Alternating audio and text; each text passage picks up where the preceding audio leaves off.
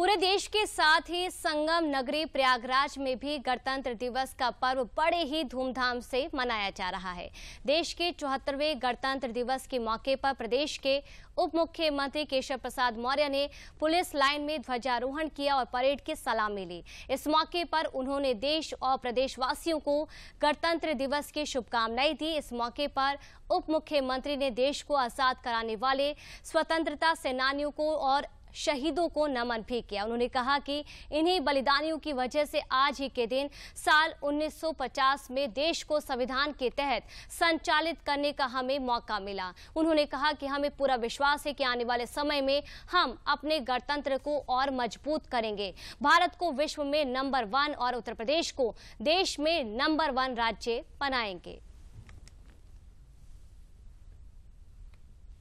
मैं अपने उन वीर बलिदानियों को, जिनके कारण से हम स्वतंत्रता प्राप्त किए और भारतीय संविधान के अनुसार देश को आज ही के दिन 1950 से संचालित करने का मौका मिला, उनको भी रमन करता हूँ। और आज यहाँ की परेड, जो प्रयागराज मुझे यहाँ पर आने का मौका मिला, सौभाग्य समझता हूँ। और सभी जवानों ने अपनी अपनी अलग अलग टोलियों के माध्यम से शानदार प्रदर्शन किया है।